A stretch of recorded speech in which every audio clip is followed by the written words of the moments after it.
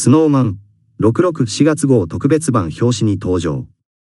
9人が9通りのマジな恋愛観を語る。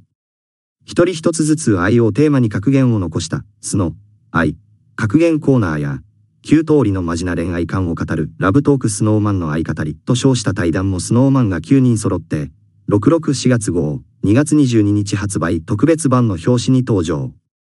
通常版、特別版共通で12ページにわたるカバーストーリーに登場。さらに、スペシャルなステッカー付録もついてくる。絶えずコンテンツを発信し、個人、グループともに様々なジャンルで新しい顔を見せているスノーマン。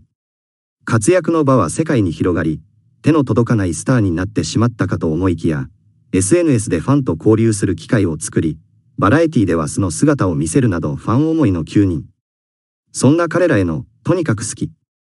スノーマンがただただ、毎日幸せでいてくれたらそれでいい、といった公式 YouTube に寄せられたコメントから着想を得て、今回のカバーストーリーのテーマは、9人への愛が最高潮です。